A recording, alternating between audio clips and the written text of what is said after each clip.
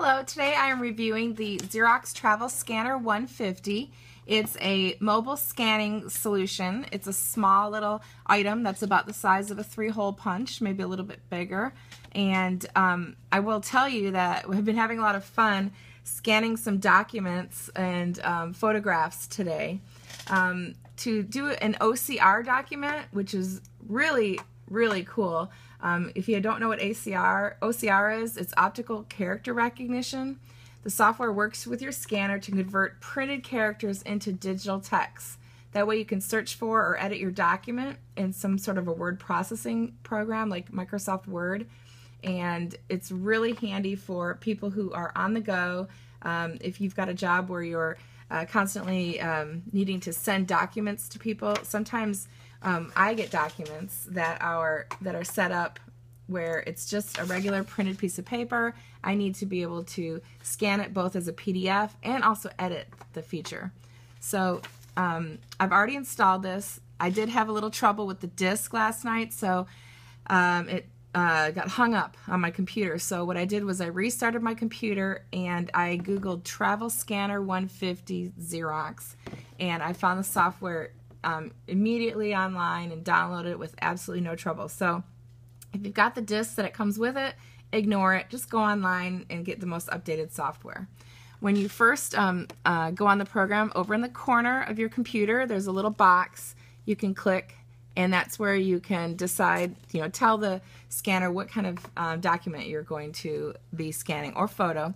I've been scanning a bunch of different photos. My mother-in-law gave me a giant box full of images from the 1920s, 30s, 40s, 50s. I've got um, wedding pictures from 1961 of my mother and father-in-law, picture of my mother-in-law in first grade in 1954.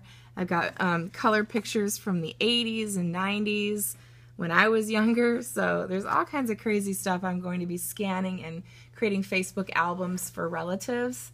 Um, I'm going to take a regular uh, black and white document. I'm going to pick document OCR and black and white is the standard for that.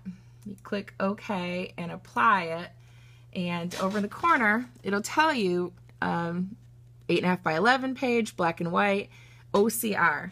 So what that means is you put it in face down.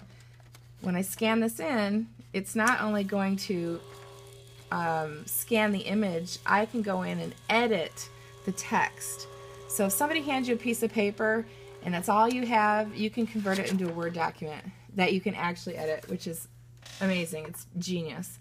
So it shows up here on the on the screen, and when you've got the image, it looks just like the one that I just um, had here. And you go View to this little desktop, and you can drag it all the way down to some feature on the bottom. Like I picked, you could do Word, or here I just dragged it into um, One Touch. It's WordPad, basically. Oh, and here it is. Look at this. I can go in and edit. This is fabulous. It took the words from a regular piece of paper and converted it into text. And it looks just like the um, words here. I don't see any problems or glitches to it, so that's great. You can um, then save it from there. You can email it or save it as a PDF. I love that. There's many times, um, you know, we do sports coaching where all we're given is just a piece of paper and the they don't have it in a attachment that is editable. So I love it. That's a great feature. OCR is definitely um, more advanced software and very, very helpful. So as you can see, I have um, scanned some images up here on the screen. Don't be discouraged if you scan something and it turns out all black or white outlined. That means you just have the setting wrong. So right now I have it set at black and white and that's the standard. Look on the bottom of your screen.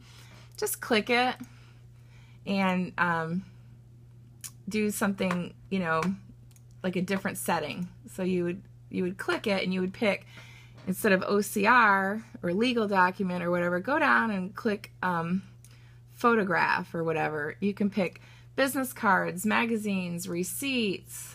Um, you could even name a new configuration. So for example, um, we could pick JPEG here on the screen and I can go new instead of black and white, I will pick either color or grayscale, and we'll call it, um, how about 400 resolution, or you could pick 600, which is the highest resolution image. And I'm going to name it um, Old Photos. Let's do that. Then um, on advanced settings, you can, you know, mess with the color saturation and all kinds of other stuff. There are so many advanced settings on here. Oh, I'm going to pick 4 by 6 photograph image, or you can make custom images if you have an old-timey photo that's not uh, 4 by 6 You click Apply, OK, and that way you have a new setting in saved in your computer. It's gonna mine's called Old Photos, and they're high resolution click apply and that'll change what's over in the corner. So before you scan, go look over in the corner and see if you have it on color or grayscale or what you have it set to. And that way I can take, um, you know, this image of old 1961 um, newlywed um, in-laws and scan it right through. And I could take all these old images that we have and digitize them It'll take me a while because um, I want to make sure that I organize them into folders. I can send them to people, make digital photo books because I'm saving them as a JPEG. And finally, technology has caught up to some of the things that I need to do. So I love that. Um, you can see here I've been scanning images, various old-timey images. Uh, I'm going to give this uh, scanner a four star because some of the images have little lines at the very bottom, right in this section here. Um, I've already, uh, you know, gone through and done the calibration where you put these into the machine and also I'm going to go through and take this little felt pad that's a cleaner and run it through to clean it. Maybe there's some sort of um, thing that's um, making it create little lines. I'm also going to play around with the resolution. So, you know, it's not the most user-friendly to install at first, but just be certain you ignore the disk, go right to the website and download the software that way. And then read the owner's manual. There's an owner's manual that you can download. It's pretty big, but go through and read it because it really does give you so much more insight as to why you might be having problems. And some of the you know things that you might go oh wow why is it scanning like this? It's user error usually. I mean um, if you haven't mastered it it's probably because you you don't have the right settings. So go through and uh, make sure that you have it all set properly.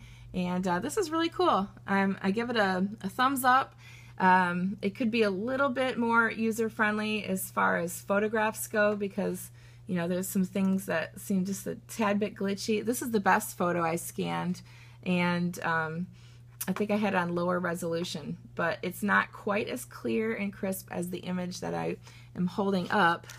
So when you match them side by side, uh, I think that this one made it larger, like 8.5 by 11, so that might be part of the issue. So I will um, update my review if I think that I've fully mastered the photographs and they, they come out um, clear and crisp and sharp, a little bit better than they are now, then it's definitely worth a five star. But as far as documents go, if you are um, just scanning legal documents and invoices or just taking your everyday bills and all those receipts and business cards and making them digital, then this is perfect.